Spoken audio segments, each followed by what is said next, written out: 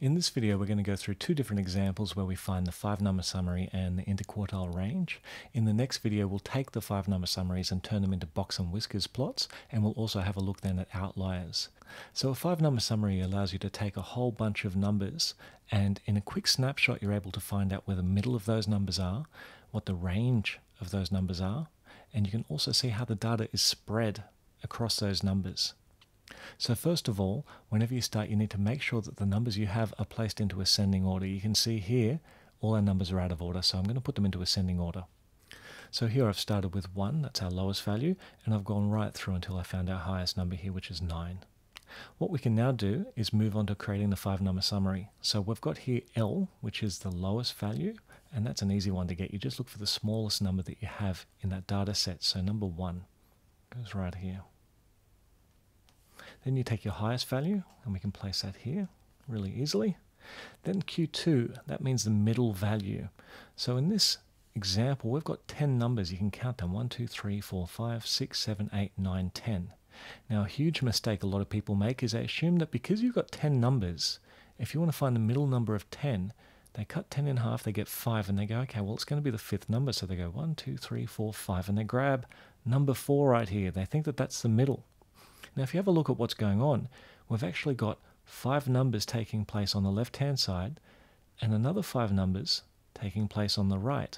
And where's number four? Is that the middle of this data set? It's not.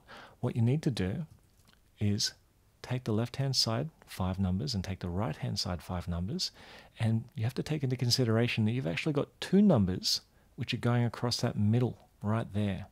So I'll put that in a different color and we've got 4 and 6. They're both the middle number. So what I'm going to do is get the average of 4 and 6. 4 plus 6 divided by 2, and that gives us the number 5. You can see the middle of 4 and 6 is the number 5. So over here I can put 5 as our median. Now you're going to get two different numbers like this when you have an even amount of numbers. So because we had 10 numbers, if you half 10, you're going to get 5 on the left, 5 on the right, that means you've got to get the average of the two middle ones. If we had an odd amount of numbers, you'll see this in the next example, then it's just going to be one number sitting in there by itself. So there's our median or our Q2 value. So I'm just going to put Q2, took place right here. The next thing we need to do is get Q1. Now Q1 is like getting the left-hand side median. So we've got the median there for the 10 numbers. Now we have to get the median that's occurring on the left-hand side. So you've got this left-hand half over here. So we've got five different numbers going from 1 to 4 here. Now where do you think the middle is of these five numbers? Well, if we want to cancel out the 1 there and this 4 over here, you've got three numbers left over. If we cancel out 2 and 3, you can see that 2 is sitting there by itself. That's the third number. So you've got five different numbers, and the third number is the one that sits in the middle of five different numbers. So I can call that one there Q1. So over here, I'm going to put the number 2. On the right hand side, it's a very, very similar thing. We're going to get the median of the right hand side. So you've got 6, 7, 7, 8, and 9. So if I cross off 6 and 9, the, the far left and right hand numbers, I can cross off 7 and 8. And here, number 7 is sitting there by itself in the middle. So that's Q3. So I'm going to go and put number 7 here as Q3. So now we've got our five number summary all we need to do is find the interquartile range. Now the interquartile range simply means how far is the distance between Q3 and Q1. In other words, IQR equals Q3 take away Q1, IQR interquartile range.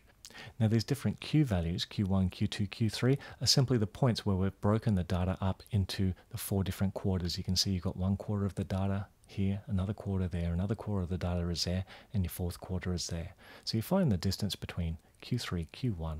So what we had for Q3 was 7, and Q1 is 2, so 7 take away 2, and our IQR is 5. Our interquartile range is 5.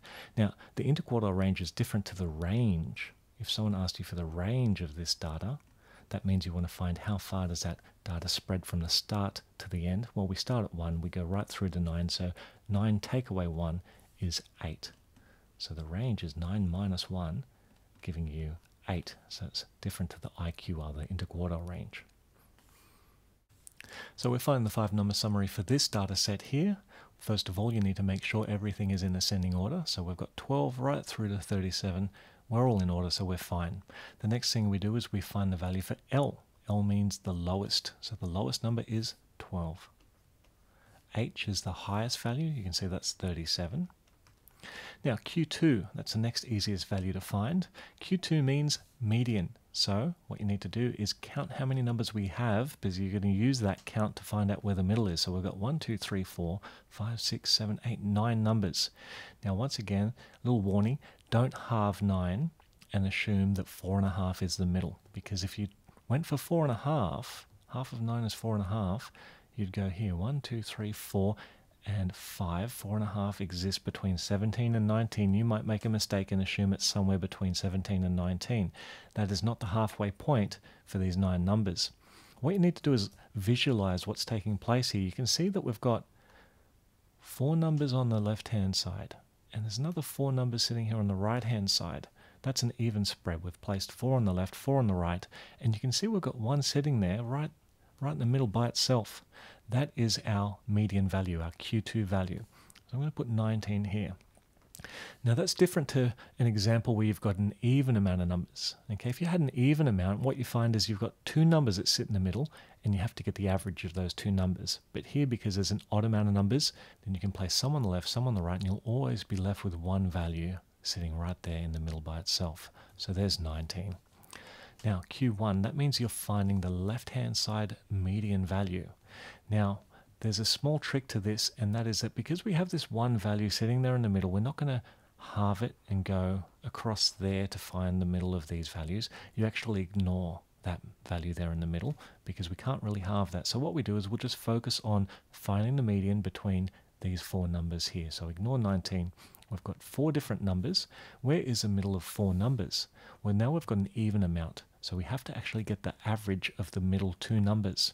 So you've got here this number on the left hand side and the number on the right, 12 and 17. We can get rid of those and we're left with 14 and 15 sitting right here. So that's going to be Q1. And how do we find out where the middle of 14 and 15 is? Well, you can probably see that the middle of 14 and 15 is 14 and a half. But if you're not sure, you just do this. We take 14, we add on 15, and we divide it by 2, or we get the average. So that's 14.5. Over here, that was our Q2 value, and in a moment we're going to find Q3. So 14.5 goes right here. Now Q3, once again, we can get rid of the left and right hand side number. We don't need those. And we'll just count in until we hit the middle two numbers. You can see right here, 22 and 24, uh, the numbers are going to make up our Q3 value. So how do you find the middle of 22 and 24? Well, if you're not sure, add them together, divide it by 2, and you can see that's going to be 23. So there is 23 for Q3. Now we need to also look at the IQR or the interquartile range. So if you can't remember, we've got Q3 take away Q1. The interquartile range means you're really just looking at the, the spread between Q3 and Q1, those quartiles there. So Q3, we can see that that's 23, and we need to take away 14.5.